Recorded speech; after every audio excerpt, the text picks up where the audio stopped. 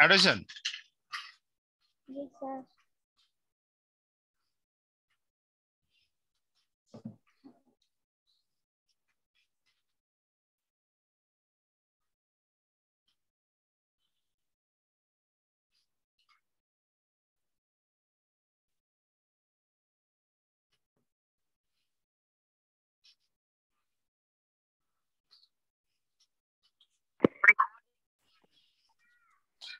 না করলে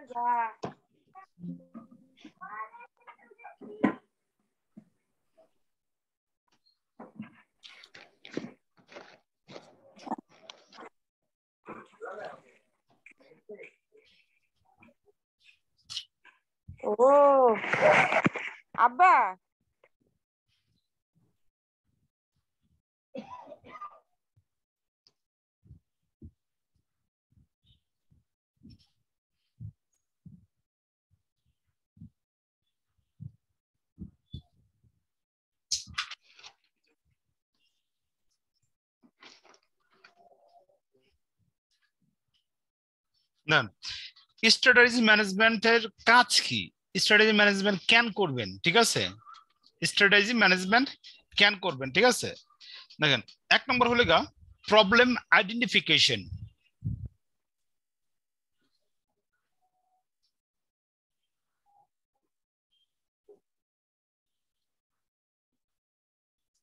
ঠিক আছে?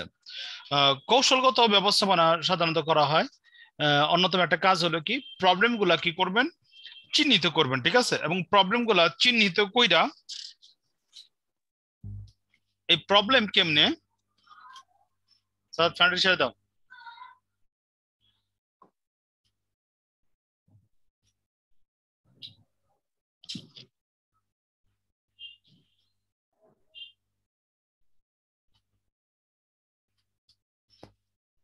দেখেন প্রথম কাজ হলো কি প্রবলেম গুলাকে চিহ্নিত করুন ঠিক আছে? দেখেন, দুই নম্বর হলো গিয়া market observation and collection data বাজার গবেষণা এবং উপাত্ত সংগ্রহ মার্কেট অবজারভেশন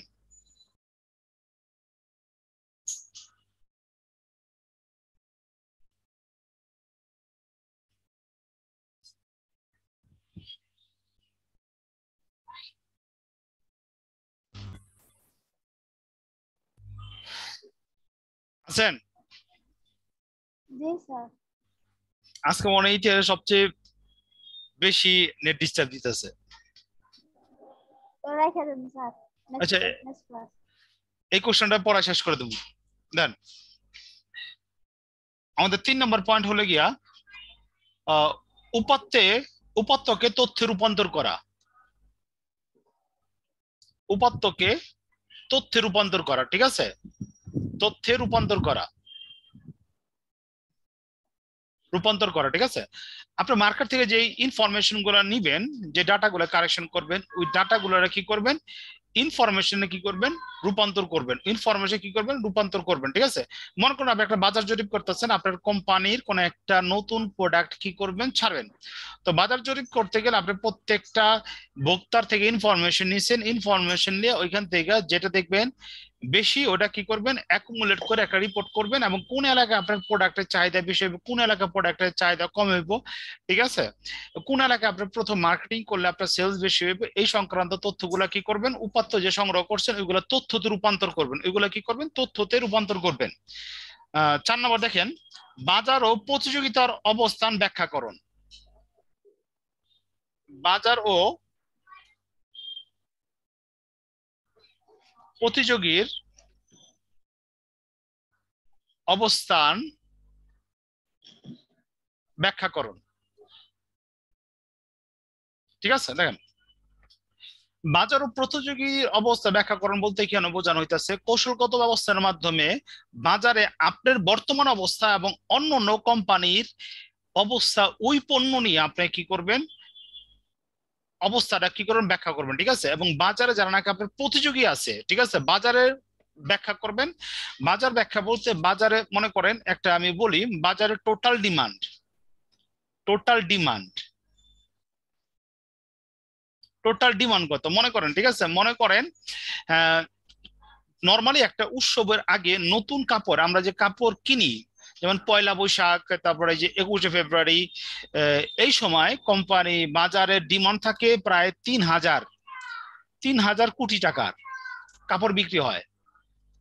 প্রায় তিন হাজার কোটি টাকার কি হয়? কাপড় বিক্রি হয়, ঠিক আছে? তো বাজারের অবস্থান কত? তিন হাজার কোটি টাকা, ঠিক আছে? এই তিন হাজার কোটি টাকার মধ্যে আপনি অ্যানালাইজ করে দেখবেন কোন প্রোডাক্টটা বেশি বিক্রি হইতেছে। শাড়ি বিক্রি হইতেছে নাকি পাঞ্জাবি বিক্রি হইতেছে? নাকি টি শার্ট বিক্রি হইতেছে নাকি লুঙ্গি বিক্রি হইতেছে ঠিক আছে? এইগুলা কি করবেন? সিগমেন্টেশন করবেন। এবং এই যে সিগমেন্টেশন করবেন, এখানে আবার অ্যানালাইজ করবেন, শাড়ি কোন কোম্পানি সবচেয়ে বেশি বিক্রি করতেছে, ঠিক আছে? ওইটা অ্যানালাইজ করবেন। এই কোম্পানি কোন এলাকায় বেশি বিক্রি করতেছে, ঠিক আছে? কে কিনতেছে, এগুলো অ্যানালাইজ করবেন।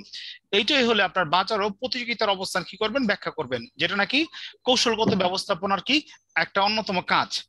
তারপরে দেখেন, পাঁচ নম্বর দেখেন সমন্বয় করবেন। সমন্বয় করবেন, ঠিক আছে?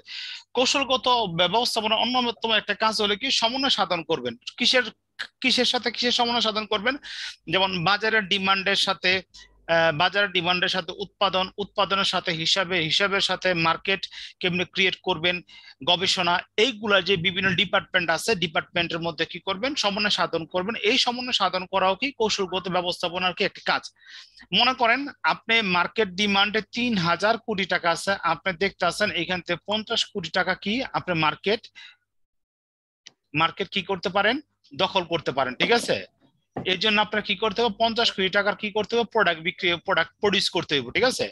তা আপনি প্রোডাক্ট কি করলেন? প্রডিউসার লেখা কি করবেন? উৎপাদন বিভাগে বললেন। কিন্তু উৎপাদন বিভাগ কি করল না? পণ্য উৎপাদন করল না যত সময়ে। মার্কেটিং কি করল না? ঠিক মতো মার্কেটিং করল না। তার মানে কি? আপনার সমন্বয় সাধন করতে না পারলে আপনার প্রোডাক্ট কিন্তু আপনার প্রকৃত ভোক্তাদের নিকট পৌঁছায় দিতে পারবেন না। ঠিক আছে? তো আপনি কি করতে হবে? আপনার প্রতিষ্ঠানে যে বিভাগ, উপবিভাগ যে ডিপার্টমেন্টগুলো আছে, এই সবগুলোর মধ্যে কি করতে হবে? সমন্বয় সাধন করতে হইবে। সমন্বয় সাধন ও কৌশলগত ব্যবস্থা অন্যতম একটা কাজ। তারপর ছয় নম্বর পয়েন্ট দেখেন। ব্যবস্থাপনা অন্য অন্য তথ্য প্রদান। ব্যবস্থাপনার অন্যান্য অন্যান্য স্তরে তথ্য প্রদান। ঠিক আছে? যেমন ধরেন আমরা অনেক সময় কি করে অনেক এমপ্লয়ি অনেক ডিপার্টমেন্ট তথ্য কি করে হাইট করে? তথ্য কি করে হাইট করে? অন্যরে বেকায়দা ফেলার জন্য, ঠিক আছে? নিজের সুবিধার জন্য অন্যকে বেকায়দা ফেলানোর জন্য কি করে? তথ্য হাইট করে। এটা করা যাবে না। ব্যবস্থাপনা অন্য অন্য স্তরে কি করতে হবে আপনার তথ্য কি করতে ফ্লো করতে হইব। তথ্য ফ্লো করতে হবে। তথ্য যদি ফ্লো না করেন, তাহলে আপনি সিদ্ধান্ত গ্রহণ করতে পারবেন না। এই যে আমি আপনারা এখানে যে দেখালাম, এই তিনশো তিনশো কোটি থেকে আপনি দেখতেছেন এই পঞ্চাশ কোটি টাকার মার্কেট কি করতে পারেন, আপনার দখল করতে পারেন। এই জন্য আপনার প্রোডাকশন করতে হইব। প্রোডাকশন করা মার্কেটিং করতে হবে। মার্কেটিং করার জন্য আপনার অ্যাডভার্টাইজিং দিতে হবে, ঠিক আছে? এই জন্য প্রত্যেকটা ডিপার্টমেন্ট আপনার কি করতে হবে? তথ্যগুলা ইনফ্লো করতে হইব না। আমরা যদি এটা করি, আমরা পঞ্চাশ কোটি টাকার মার্কেট কি করুন, দখল করতে পারব আমরা এখানে সেল করতে পারব। আমাদের প্রফিট হইব। প্রফিট আমরা সবাই উপকার হইব। অর্থাৎ এই সিদ্ধান্ত গ্রহণ সংক্রান্ত যে ইনফরমেশনগুলো আছে, ওই ইনফরমেশনগুলা প্রত্যেকটা স্তরে আপনার ফ্লো করতে হবে। যদি ইনফরমেশন ফ্লো না করেন, তাহলে আপনি কিন্তু আপনার টার্গেট ফুলফিল করতে পারবেন না। তারপর দেখেন, প্রকল্পের অর্থনৈতিক ও সম্ভাব্য অর্থনৈতিক ও সামাজিক সম্ভাবনা।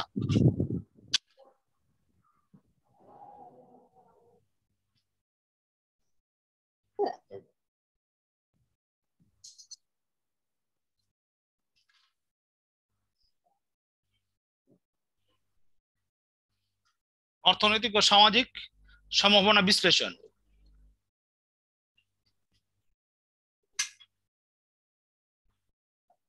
দেন, আপনার ব্যবসা প্রতিষ্ঠানে যে কোনো অর্থনৈতিক প্রকল্প যে গ্রহণ করবেন, ওই প্রকল্প গ্রহণ করার ফলে সামাজিক সম্ভাবনা কতটুকু, ওইটা কি করবেন, বিশ্লেষণ করবেন এবং এই বিশ্লেষণ করার অন্যতম কাজ হলো কি স্ট্র্যাটেজি ম্যানেজমেন্টের কাজ, ঠিক আছে? যেমন ধরেন, পদ্মা সেতু যে করতেছে ঠিক আছে?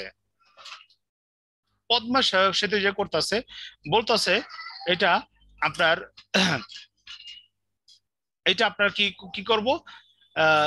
দুইটা জেলা বা দুইটা বিভাগের মধ্যে কি করব? আপনার সেতু বন্ধন স্থাপন করতে পদ্মা সেতু। এই পদ্মা সেতু হওয়ার ফলে কি হইব? মানুষের ইনকাম বাড়বো সেল বাড়বো, ঠিক আছে? জীবনযাত্রার মান বাড়বো, ঠিক আছে? এর ফলে কি হইব? সমাজের জীবনযাত্রার মান উন্নয়ন হইব। সময় কম লাগবো ঢাকা তাইতে ঠিক আছে? তো এরকম বিভিন্ন ধরনের সম্ভাবনা কি করবেন? আপনার প্রকল্প যে আছে এবং এই প্রকল্প দ্বারা যে সামাজিক উন্নয়ন হইব, এই সংক্রান্ত জিনিসগুলো আপনি কি করবেন জানাইবেন। ঠিক আছে? আমাদের লাস্ট পয়েন্ট হলো দেখেন, আট নম্বর পয়েন্ট কৌশলী সিদ্ধান্ত গ্রহণে সহায়তা।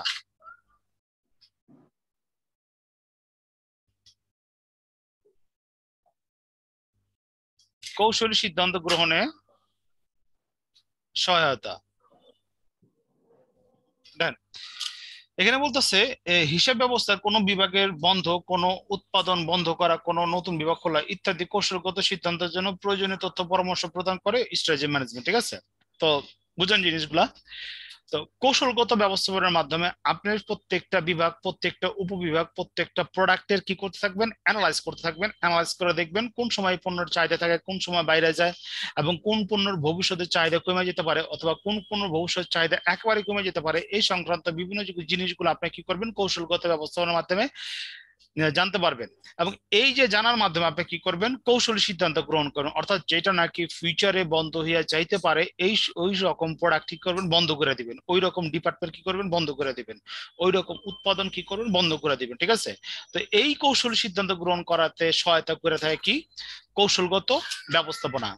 আমি আপনার বুঝাইতে পারছি কৌশলগত ব্যবস্থাপনা কেন দরকার? কার্যগুলি কি? এটা দ্বারা কি করে? এটা কেন শিখবেন? আচ্ছা তো আজকে বন্ধ থাকুক হ্যাঁ? আচ্ছা এই কাজ শুন শুন শুন শুন। ইয়া করছিলেন? ম্যাথ করছিলেন? করতেছি স্যার। আচ্ছা রোজায় কোন সময় পড়বেন? হ্যালো? শিমুড়ি দিবেন স্যার।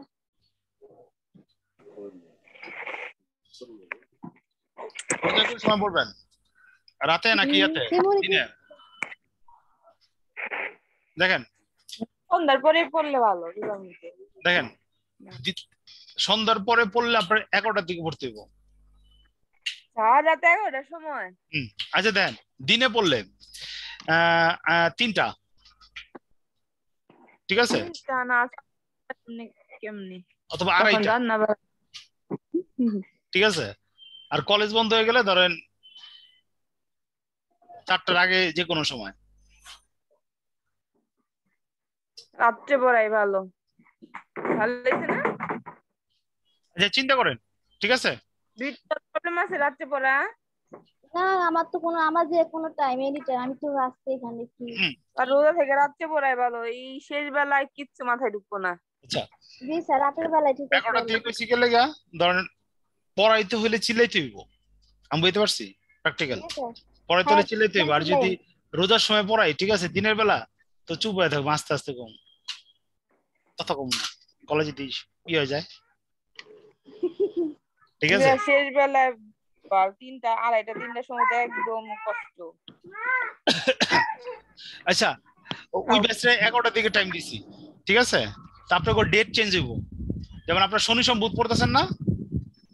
ঠিক আছে? শনি সোম বুধ নয় রবি মঙ্গল বৃহস্পতিবার যে কোনো এক ডেটে হইব হ্যাঁ। ঠিক আছে?